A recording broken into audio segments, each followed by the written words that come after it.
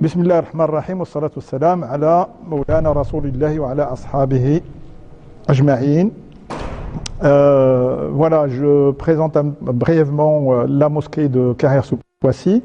Et comme vous voyez les- la mosquée, euh, grâce à, à- à ces fidèles que vous, vous la voyez aujourd'hui, euh, avec euh, un sous-sol total, un rez-de-chaussée, un premier étage et une terrasse. Donc ça fait une surface de 4000 mètres carrés.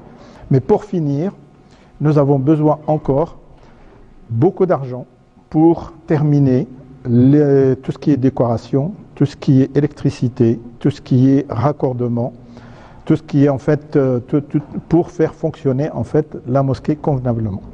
Et c'est la raison pour laquelle nous faisons appel à la générosité de, de- de- des- bienfaiteurs pour pouvoir justement terminer cette mosquée. Lorsqu'une personne meurt, toutes ses œuvres sont interrompues sauf trois. Une œuvre continue, sadaqa jariya, c'est-à-dire la construction d'une mosquée ou la participation tout simplement de la construction d'une mosquée. Une science bénéfique propagée ou un enfant pieux qui fait des invocations en faveur de ses parents. قال رسول الله صلى الله عليه وسلم إذا مات ابن آدم انقطع عمله إلا من ثلاث صدقة جارية أو علم ينتفع به أو ولد صالح يدعو له رواه مسلم Dans un autre hadith rapporté par Muslim, celui qui construit une mosquée pour Allah, Allah lui construit son équivalent dans le paradis, rapporté par Muslim.